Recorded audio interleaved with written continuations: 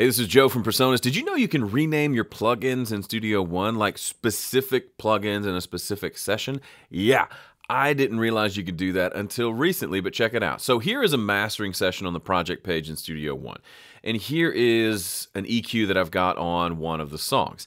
So you may think, oh, why would I ever want to rename a plugin? I'll, I'll talk about that in a second. But first of all, how do you do it? You click on the top section of the EQ plugin where you have all your plugins listed if there are multiple. If you click on this little drop down, it's the very first option. It's called rename. So if I rename this like uh, notch ringing, because there was a ringing in this track that I notched out. Check it out. If I go back to looking at my song, I can see, oh, okay, I deal with the notch ringing with this plugin. Or I could, I can right click it here and go rename and call it like EQ notch ringing or something like whatever. It literally like this makes me so excited. You can make it say whatever you want.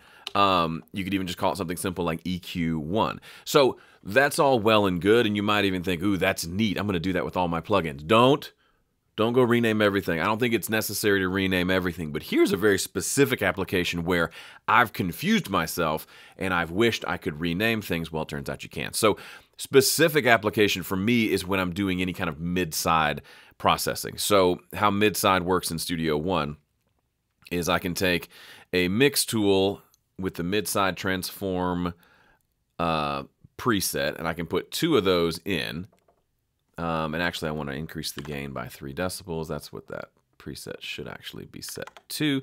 Um, and so now I've got mid-side processing, okay?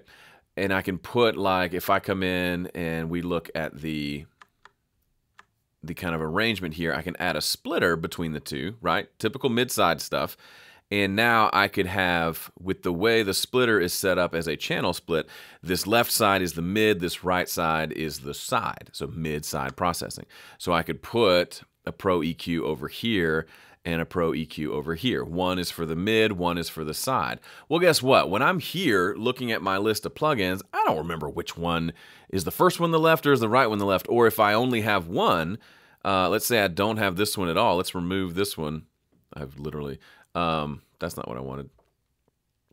Let's remove that plugin. Now I've got one EQ in here. Is that EQ on the mid or the side? I don't know. How do how am I supposed to know? Either I have to remember or I have to open the splitter and literally look at it to find out, which isn't the end of the world, but it'd be nice to just be able to know from this kind of high level view so I could just directly open up the plugin. Well, I can. I can do this. I could rename it and I could say side EQ.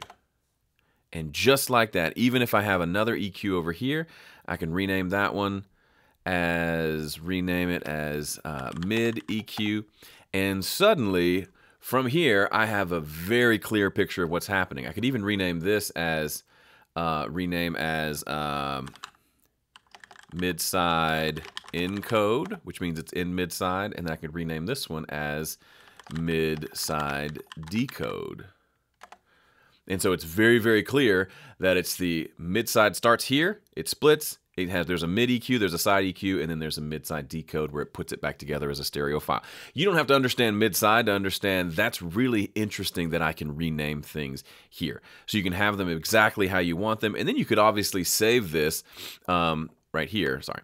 Save this as an effects chain, store it as an effects chain, and bring this in, and it'll have all the names and everything saved for you, which is super duper handy. So just another. I, it's is this going to change your life? Probably not. But is it super handy to have in a pinch in this specific instance? Yeah. Or let's say a couple other examples that I can think of. Let's say you use uh, one compressor to just grab those peaks for those loud parts of a vocal, and another compressor to kind of smooth everything out. You could rename it peak compressor, smooth compressor.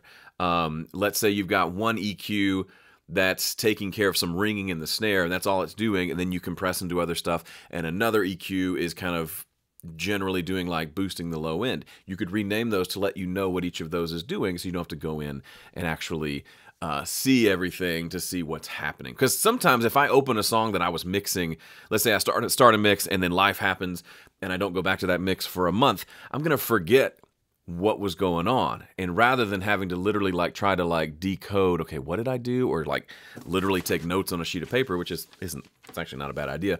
I can see leave myself notes within the session by renaming specific plugins that i know future me isn't going to remember what i was doing with that. That can be super handy. So use this play around with it see if you can make it a part of your workflow. Thanks for watching. I'll see you in the next one